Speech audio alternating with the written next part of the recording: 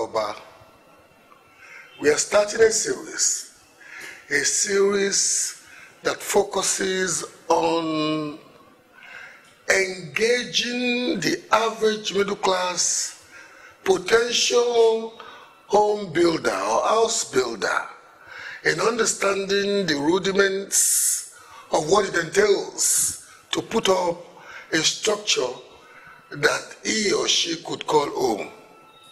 A series that identifies the common errors that artisans make in the course of their jobs. A series that provides workable solutions not only to members of the artisan class, but indeed to an average upper middle class potential builder of homes who may need not to be destructively engaging, but productively and suggestively engaging with an artisan or a group of professionals working to help him or her translate a vision of a home or a house to reality.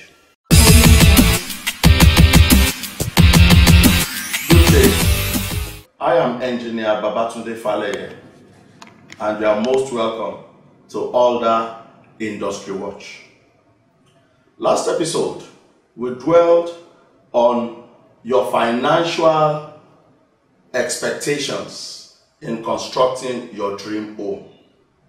Today, we will be breaking it down further into what the roles of a plumber is in the construction of that your dream home.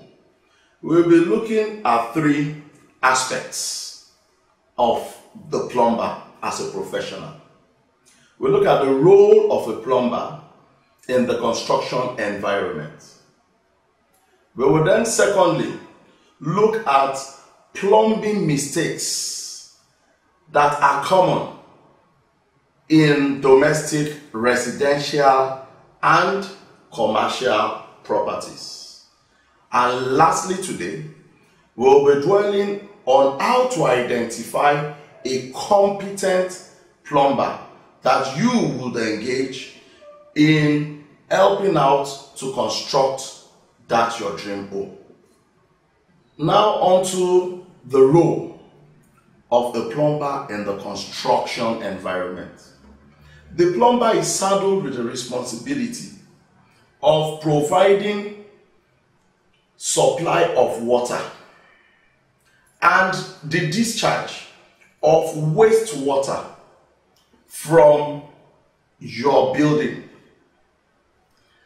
He would connect that dream home of yours to the mains as provided by the government or to a source of water supply within your community, estate, or the compound itself. The plumber will ensure that the supply is of good pressure, good quality, and good standing as it relates to every aspects needing water in your home. He or she is also saddled with the responsibility of taking away the waste, be it liquid or solid, from your construction property. You can look at the plumber like the system of your body. Liken him into someone that is saddled with flushing your system from your veins, ventricles, that the heart will pump blood round to circulate within the body system, and from the digestive end, taking feeds of fluid and solid into the body and expunging same as waste matter out of the body. The plumber should ensure that the type of materials, as in the pipes, the fittings, and the fixtures used in the plumbing system, are correct and original. We have a lot of shoddy materials going around in the market today. But the plumber should be able to identify the good and original materials to use on your pro property. The role of the plumber is also to check that the system of the building is airtight, that there are no leakages within all the system of the building. It should run the pipes adequately well, should observe all te techniques and cautions as delivered in their regulatory standards. It should pressure test the system to be sure that everything is tight without leakage. The plumber should also ensure that the flushing system of the entire building as to the waste is seamless and can be done naturally without help. But the plumber should be sure that the water source into the building or the structure is safe for use. That is the role of your plumber. Now we go on to the common mistakes that you will see in the plumbing systems of most domestic residential accommodations that you find. Well, the first one that I would like to dwell on is the issue of vents and traps.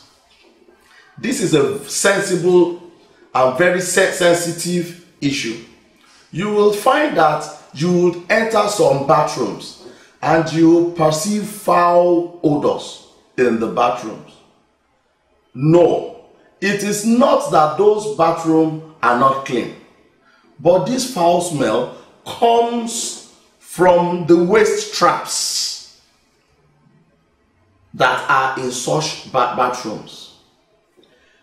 Every floor drain or basin drain or bath drain that you find in any bathroom system has got something that is called a trap system within it.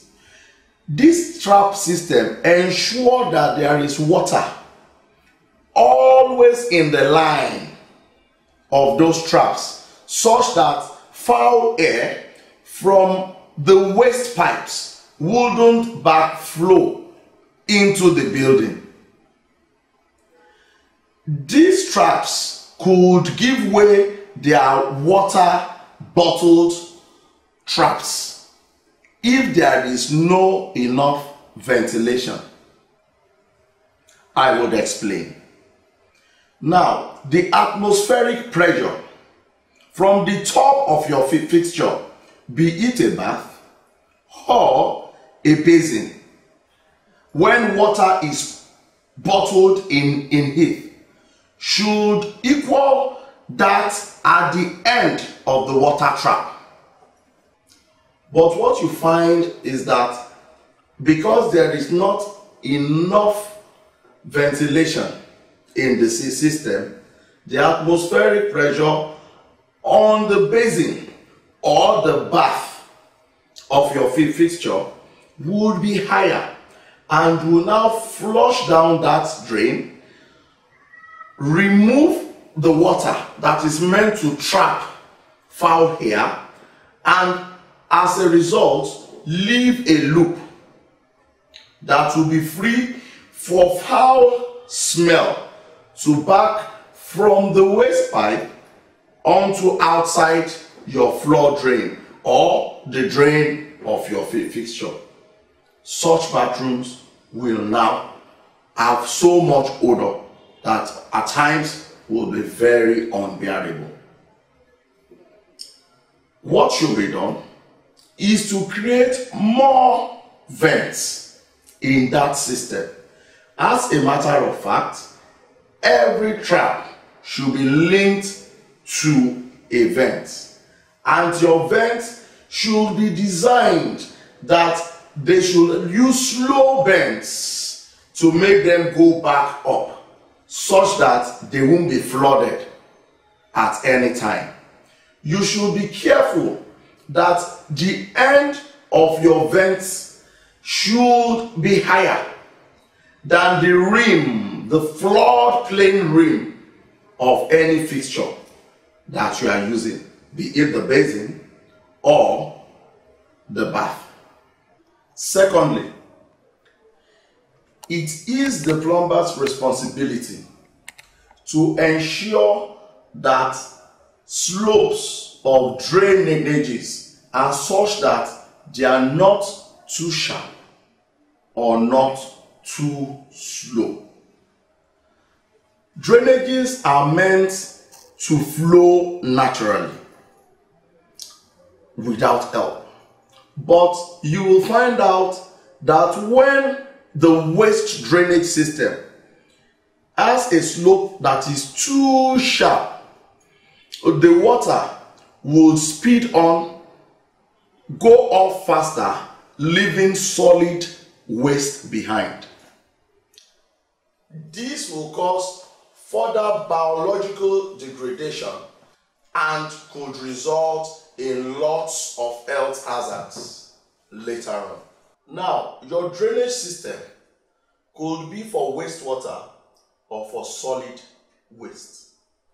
The slope of your drainage system is the gradient at which the pipes for waste are laid such that a natural flow of wastewater or solid water out of the building system is ensured.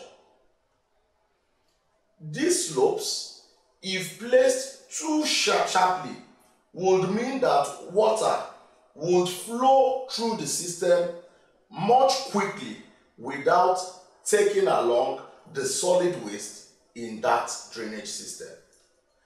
This will mean having solid waste inside of the pipes of such a system which could lead to health hazards in the future.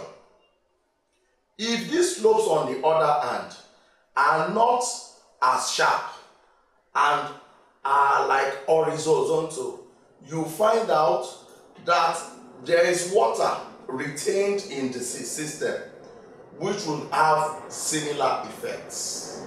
If on the other hand, the slope is slow such that it looks horizontal, you will find out that water wouldn't flow naturally in that piping system.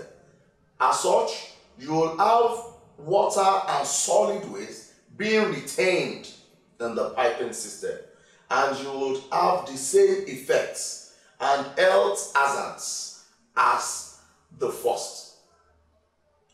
It is paramount that the plumber ensures that he or she has a slope of a quarter of an inch height to every one foot in the pipe system, which means that the plumber should have one inch elevated height of the pipe to every four feet of every pipe.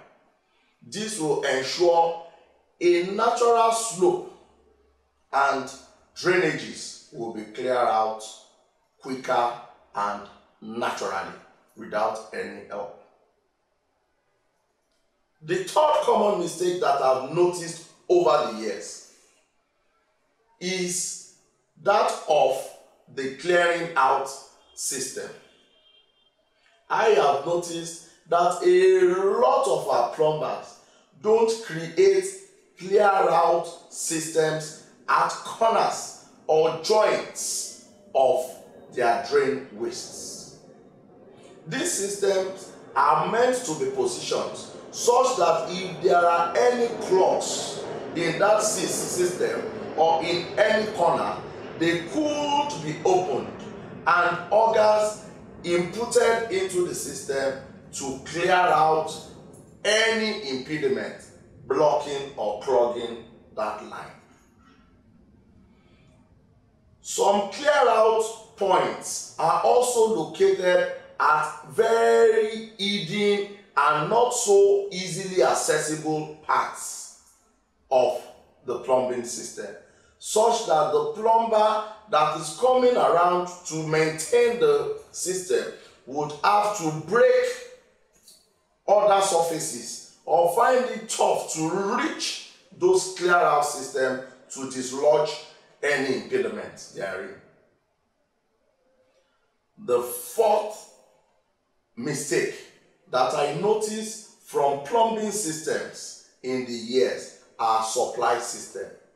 You will find out that in some ba bathrooms, while using the water, like in the shower, for instance, while using the shower, and another bathroom turns up his own shower, there is loss of pressure in the bathroom that was using water previously. This happens because most plumbers don't know which angle to tap their supply from from the mains that is entering into such sections. The plumbing system in homes are designed such that you have a main line supplying water into a particular section of a floor or the entire floor. And from that main line, branches are connected to feed other bathrooms, laundry, or the kitchen areas. You find out that some plumbers tap from the mains, from the underparts of the main line.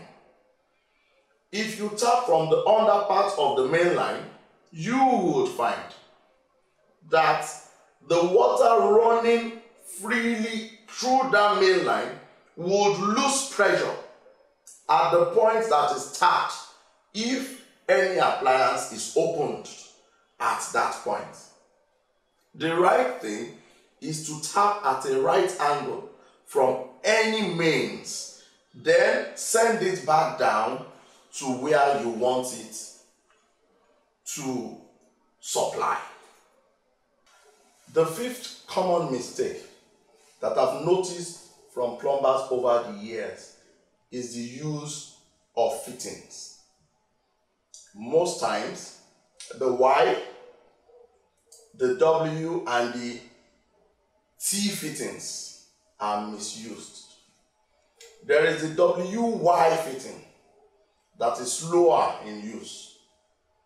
But once they use the, the T, you find out that as the waste comes rushing down the pipeline, it splashes on the baseline of the connecting pipe, backflows to the other side before now coming back.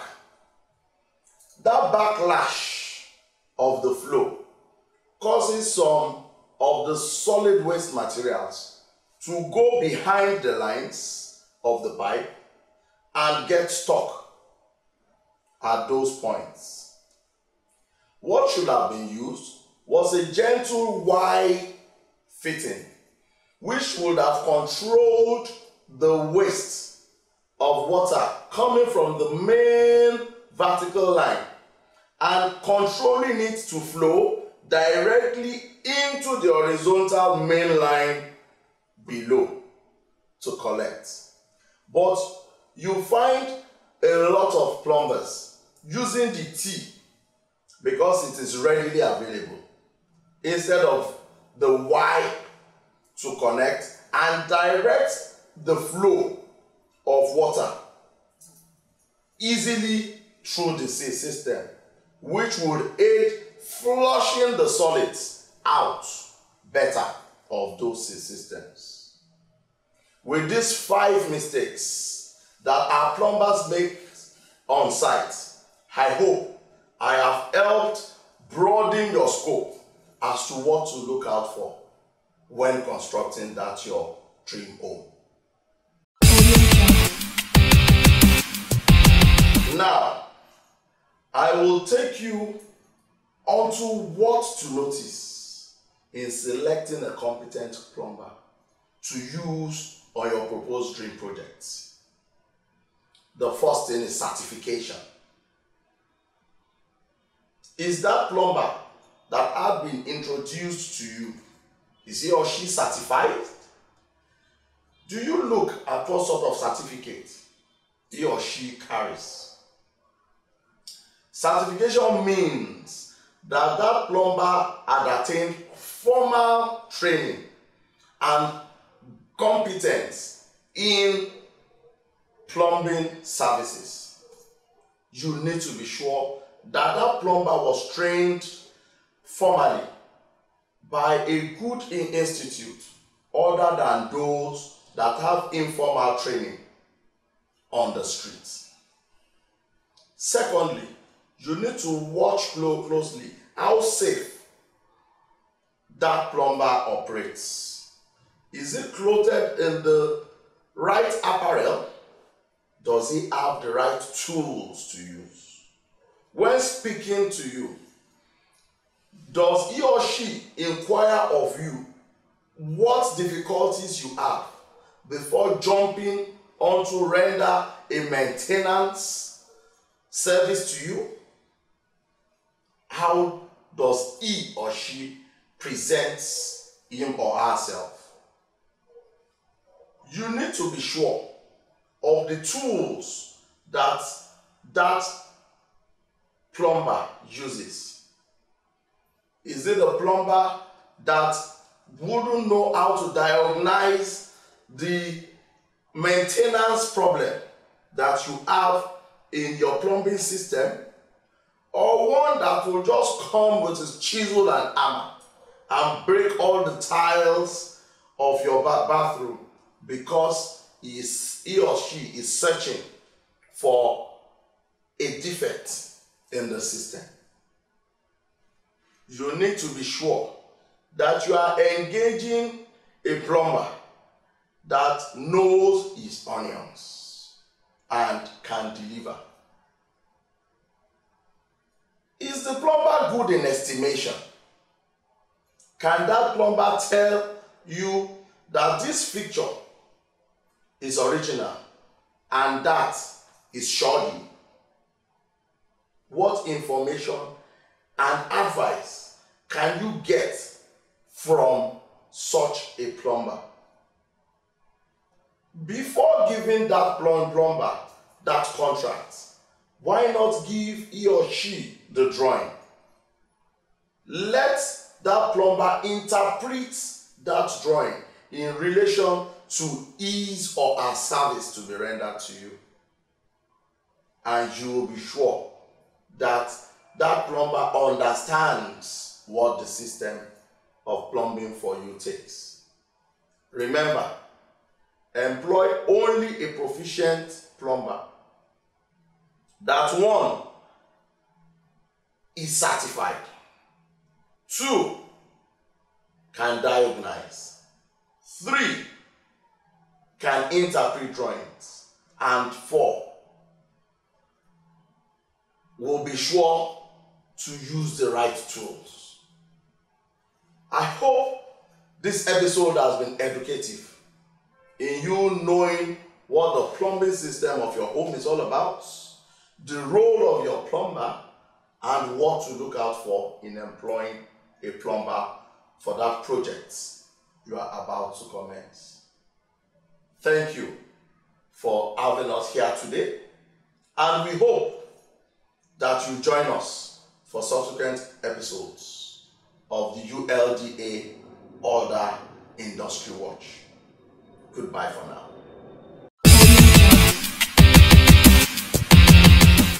I hope you have enjoyed today's episode of the series. Look forward to another episode next week. Thank you.